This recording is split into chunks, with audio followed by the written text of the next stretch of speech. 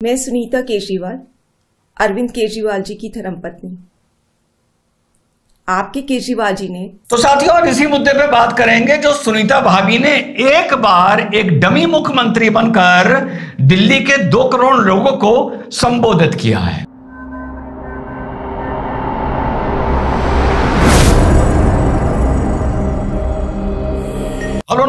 अस्सलाम वालेकुम। कैसे हैं जनाब? तो आज एक बार पुनः बात करेंगे जो हमारी सुनीता भाभी ने एक बार पुनः देश के नहीं, दिल्ली के दो करोड़ लोगों को संबोधित किया है और उनको केजरीवाल साहब का परिवार बताया है। तो ये तो आप लोगों को पहले ही पता है कि आप पार्टी में कोई भी ऐसा नेता नहीं है। संजय सिंह जेल से छूटने के बाद भी फाउंडिंग मेंबर ऑफ़ आप जो मुख्यमंत्री की कुर्सी पर बैठकर पीछे दो राष्ट्रीय ध्वज लगाकर अंबेडकर जी की फ़ोटो लगाकर और शहीद भगत सिंह साहब की फ़ोटो लगाकर देश को, दिल्ली की जनता को संबोधित करे, ये अधिकार सिर्फ़ और सिर्फ़ madam chief minister, proxy chief minister Sunita Kejriwal ji के पास है। यार मेरी एडवाइस को ये लोग सीरियसली ले गए यार। मुझसे जब डिबेट में ये पूछा गया था कि ये बताइए रिजवान साहब, जब वो जेल में हैं तो वो 2024 से पहले प्रचार कैसे करेंगे लोकसभा चुनाव से पहले? तो मैंने कहा था, भैया, अगर मैं तुम्हारा मीडिया एडवाइजर होता, दिल्ली की फ़िल्म सिटी नोएडा तुमको किसी भी स्टूडियो ले जाता जेल का एक सेट बनाता सलाखे तुमसे कहता, पकड़ के खड़े होइए और देश की और दिल्ली और पंजाब की जनता को संबोधित करिए। और चुनाव में तुम्हारे वो ही वीडियो में नुक्कड़ नुक्कड़ नुक्कड़ नुक्कड़ एलईडी ट्रक पर, छोटे हाथी पर चला था तो ये मैंने राय दी थी। मुझे नहीं पता था ये उस राय को सीरियसली ले लेंगे, यानी मिलता जुलता सीरियसली ले लेंगे और केजरीवाल साहब के सलाखों के पीछे पोस्टर बन जाएँगे। चलो भैया, कोई बात नहीं। सलाखों के पीछे पोस्टर बन गए, चलो कोई बात नहीं। यार, वीर भगत सिंह मतलब मतलब क्या बोलो उस उस कैरेक्टर के बारे में? उस उस शख्सियत के बारे में, उस इंसान के बारे में, उस भारत माता के सपूत के बारे में और क्या बोलो अंबेडकर साहब जी के बारे में? पहले तो आपने अपना डीएनए उनसे जोड़ लिया। चलो भाई, जनता ने बर्दाश्त कर लिया। अब उसके बाद बीच में आप सलाखों के इनके, और इनसे भी बड़े योद्धा, इनसे भी बड़े देशभक्त बनकर बीच में आप लटक गए। अरे भाई, तुम्हें अगर लटकने का शौक था, मेरी कुछ कुछ एडवाइस माननी थी। सिंपति कार्ड खेलना था। खेलो, कोई प्रॉब्लम नहीं है तो राजनीति है, मैं तो बहुत ही न्यूट्रल कमेंटेटर हूँ। तो इतना कर लेते कि अंबेडकर साहब की और भगत सिंह साहब की फ़ोटो जरा सी चार इंच ऊपर कर लेते, आठ इंच ऊपर कर लेते। फ्रेम तो तब भी बनता ना, टेबल पर जो कागज़ रखे रहते हैं, कम वक्त समझ में नहीं आता इन कागजों में क्या लिखा है। फ्रेम हल्का सा ऊपर कर लेते तो सुनीता भाभी भी आ जाती, ऊपर सलाखों के पीछे केजरीवाल अंकल भी आ जाते और भगत सिंह साहब और अंबेडकर साहब भी आ जाते ये नीचे टेबल और टेबल पे रखे कागज़ क्या दिखाने सुनीता भाभी को ज़रूरी है? जब पढ़ना सामने टेलीप्रॉम्प्टर देखी के है? यार एक बात बताओ, इनके मीडिया सेल में इतनी कॉमन सेंस नहीं है कि सामने जब कागज़ रखे हैं? और आप ये बोल रहे हो कि केजरीवाल जी का जेल से आपके लिए एक साथियों संदेश आया है।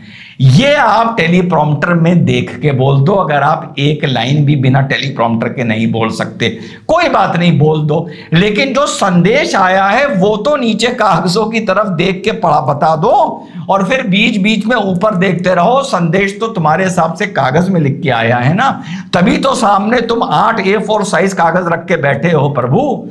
या जो संदेश आया है, वो भी तुमने सामने टेलीप्रॉम्प्टर पर लगा दिया। मतलब कितनी बेसिक गलतियाँ हैं। और ये मैं बार बार कहता हूँ कि यार मैं पहले कुछ और समझता था, थोड़ी सी मुझसे गलती हुई है।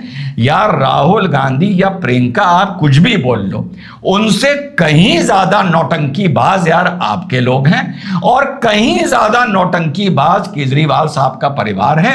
मुझे तो डर लग रहा है इस कुर्सी पर उनके चार दिन बाद बच्चे आकर दिल्ली की जनता को संबोधित ना करने लगे। हम देख भी लेते हैं कि टेलीप्रॉम्प्टर पे जो आदेश लिखा हुआ है केजरीवाल साहब का, उसमें लिखा क्या है?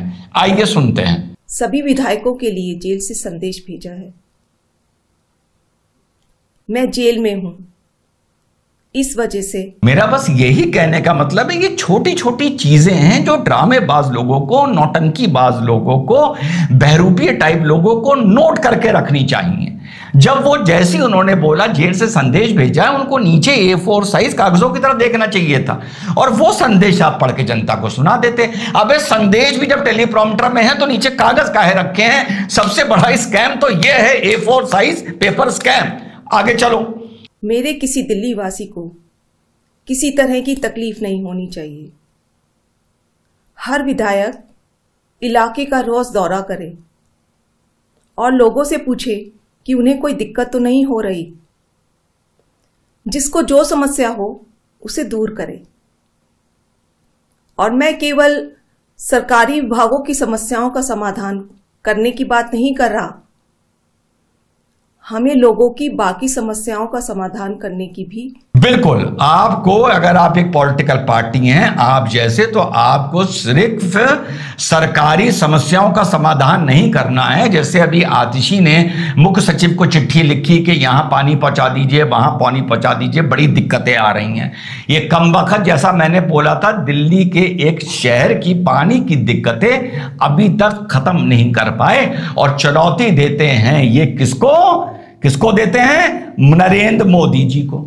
मतलब हद है जब से ये बंदा जेल में गया है, सिर्फ़ दिल्ली की दिक्कतें ही सुनने को मिल रही हैं। चाहे वो मोहल्ला क्लिनिक में दवाई हो, चाहे वो आपके वाटर कंटेनर हो, चाहे वो आपका घर घर जल हो, हर जगह सिर्फ़ और सिर्फ़ दिक्कत आप लोगों ने मार्क किया होगा कि वो जेल में बैठकर सिर्फ़ ये हिदायत अपने विधायकों को देता हुआ आ रहे हैं केजरीवाल। और मैंने तो ये सुना था कि मेरे पास तो कोई विभाग नहीं है, मैं किसी फ़ाइल पर साइन नहीं करता हूँ। और सारा काम मेरा ऑटो पायलट पर लगा हुआ है। अब दिक्कतों में उन्होंने कह दिया है कि विभाग से संबंधित नहीं, इसके अलावा भी आपके बच्चे का कहीं झगड़ा हो गया है, आपके घर में कोई कलेश है, सास बहू की टेंशन है, आपकी समधन आपको परेशान कर रही है, आपकी पत्नी आपसे रूठ गई है, या आपके पति आपसे रूठ गए हैं तो ये समस्या भी 2024 से पहले बतौर केजरीवाल जो व्यक्तिगत समस्या हैं, इन लोगों को भी आप के विधायकों को आदेश हुआ है आप लोगों को इस चीज़ का निपटारा करने के लिए। यानी नौ साल हो गए, दसवां साल शुरू होने वाला है, अगले साल दिल्ली का विधानसभा का चुनाव है। और कैसे कैसे बचकाने आदेश जेल के अंदर से निकल के आ रहे हैं, चाहे वो आतिशी के लिए हो, चाहे वो सौरभ भारद्वाज के लिए हो, और चाहे हमारी भाभी जी के लिए, सुनीता भाभी के लिए। ये अपडेट की तरह आप लोगों को बता दूँ कि कल जब मैं पढ़ रहा था तो साहब ये तैयारी चल रही है कि केजरीवाल साहब को अंदर से as a chief minister operate करने की इजाज़त मिल जाए और उसके बाद अंदर उन्हें सब सुविधाएँ मिल जाएँ। तो ये तैयारी चल रही है। आप लोगों को एक इनसाइट एक अपडेट दे दूँ कि कोर्ट में क्या आर्गुमेंट किया जाएगा कि क्यों हमारे मुख्यमंत्री वो आप कॉन्स्टिट्यूशनल प्रोविज़न बोल आप अलग कर दीजिए। फिर से अभी एक हाई कोर्ट में याचिका पड़ी कि इनको पीआईएल पड़ी कि इनको अपने पद से हटाया जाए, जो फिर से एक बार पुनः हाई कोर्ट ने उसको डिसमिस कर दिया। ये बात मैं आप लोगों को पहले बता चुका था कि कॉन्स्टिट्यूशनल इस मुद्दे पर साइलेंट है। देखना यह है कि इसका क्या आगे चलकर इसका सोल्यूशन निकलता है। तो साहब केजरीवाल साहब की जो दलील आगे दी जाने की तैयारी हो रही है ग्राउंड वर्क हो रहा है, ये कहा जा रहा है कि सुब्रतो राय सहारा जब जेल में थे तो उस जेल को प्रिजन में कन्वर्ट कर दिया गया था एक पोर्शन को। अब जेल क्या है और प्रिजन क्या है? जेल में अंडर ट्रायल्स होते हैं अधिकतर और वहाँ के जो नियमावली है या वहाँ के जो लॉ वहाँ का जो रूल है, वो बड़े स्ट्रिक्ट होते हैं। प्रिजन में थोड़े से स्ट्रिक्ट जब सजा हो जाती है, उस स्टेज में आप दूसरे एरिया में चले जाते हैं, दूसरे कंपाउंड में चले जाते हैं, जब आपका कन्विक्शन हो जाता है। वहाँ के जो रूल्स होते हैं, वो थोड़े से डाइल्यूटेड होते हैं, हल्के होते हैं।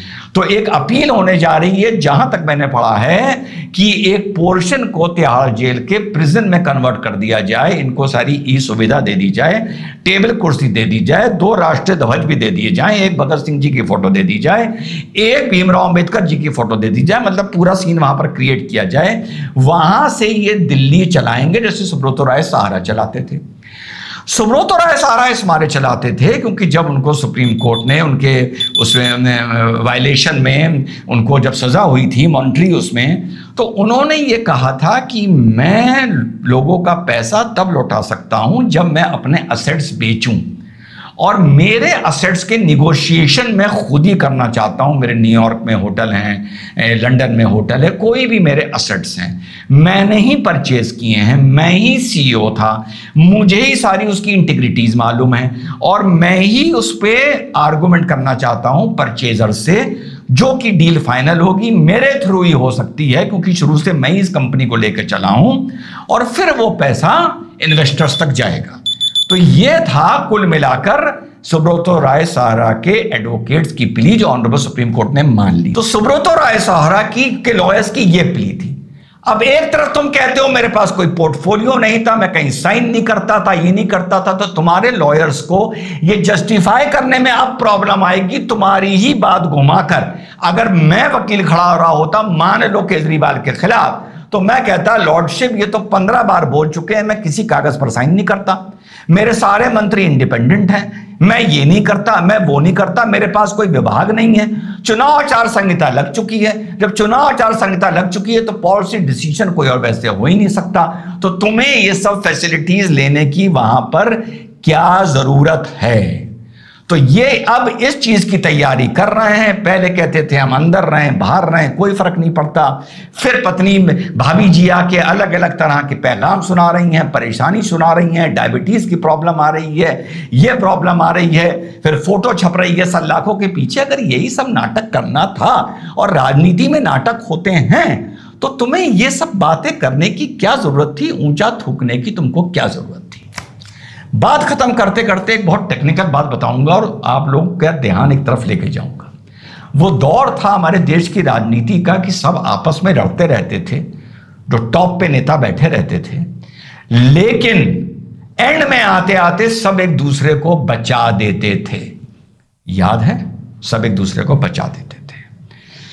अब 2024 आते आते इस देश की राजनीति की दिशा और धारा यानी सत्ताधार पार्टी और विपक्ष के रिश्तों की दिशा धारा आने वाले वक्त में बदल रही है और बदलनी शुरू हो गई है। चाहे आप सोरेन का केस उठा लें, चाहे आप केजरीवाल का केस उठा लें मोटा मोटा दो सिटिंग मुख्यमंत्री भ्रष्टाचार के आरोपों में जेल गए हैं। ये भारतीय लोकतंत्र का एक नया अध्याय है। ये भारतीय लोकतंत्र का एक नया एक पहलू है, जिसकी तरफ़ मैं आप लोगों की नज़र ले जा रहा हूँ, फिर अपना वीडियो खत्म करूँगा। 2024 से लेकर 2029 तक इस देश में अब बहुत ज़बरदस्त बैटिंग शुरू होने जा रही है। जो संभावना है, जो एग्जिट पोल है, जो जो प्री पोल के सर्वेज आ रहे हैं, जो वो बता रहे हैं कि मोदी जी की सरकार फिर बन रही है। देखो, मैं 400 पार 370 पार के चक्कर में नहीं पड़ता हूँ, सेफ़ खेलता हूँ। पर सामने ये आ रहा है कि मोदी जी की सरकार फिर से बनने जा रही है। आने वाले वक्त में इस देश में बहुत ज़बरदस्त बैटिंग भ्रष्टाचार को लेकर शुरू, उनतीस से पहले जो गाज है, ये गांधी परिवार, नेहरू परिवार पर भ्रष्टाचार के किसी न किसी आरोप को लेकर या कोई आरोप को लेकर इस परिवार पर भी गिरने वाली है। जो हम लोग सोचते हैं ना, वो अगस्टा की फ़ाइल दब गई, वो फ़ाइल दब गई, वो फ़ाइल दब गई, कोई पूछने वाला नहीं है।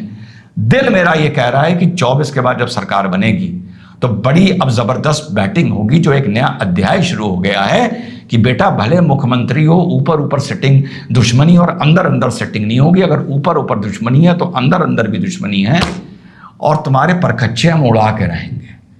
तो जितना भी विपक्ष है, कोई भी नेता हो, कोई भी नेता हो, ये भी बहुत बोलता था एक बात मेरी नोट कर ले कि 24 में अगर कंफर्टेबल मेजोरिटी से बीजेपी आ जाती है कंफर्टेबल में 290 के ऊपर मानता हूँ, बिल्कुल प्रैक्टिकल बात करता हूँ। 290 के ऊपर मैं कंफर्टेबल मान लूँगा। दो बार की एंटी इनकम्बेंसी के बावजूद अगर 290 क्रॉस करती है बीजेपी तो मैं कंफर्टेबल मान लूँगा। और बीजेपी अगर कंफर्टेबल आ गई तो आने वाले पाँच साल में विपक्ष के और कई नेताओं के विकेट गिरने जा रहे हैं। ये ना सोचिए, वो फ़ाइल दब गई, वो फ़ाइल दब गई, फ़ाइल कभी दबती है, कभी खत्म नहीं होती है। पुराने पुराने भ्रष्टाचार के मामले उठने जा रहे हैं और विपक्ष के लोग जेल जाते नज़र आ रहे हैं और गांधी परिवार भी मुझे, मैं जो भविष्य देख रहा हूँ आने वाले वक्त का यह हवालात की हवा ज़रूर खाएगा। जय हिंद, वंदे मातरम, खुदा